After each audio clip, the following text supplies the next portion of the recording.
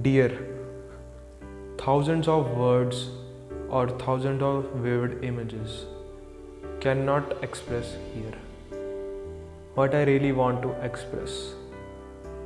It is simple but utterly confusing. Multiple conflicting thoughts about you keep me busy. Your smile, your face keep resonating in me. Please help me come out of this confusion or else I remain a baby elephant in confusion. Yours truly.